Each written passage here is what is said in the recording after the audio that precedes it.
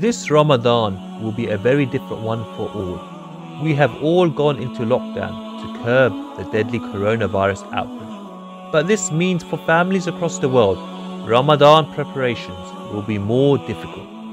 Our teams are safely preparing Ramadan packs with essential ingredients so that every family has wonderful dishes on their table come iftar time. 45 pounds can feed a family up to a month with nutritious meals so that they can spend more time on ibadah than worrying. Gift a Ramadan pack now.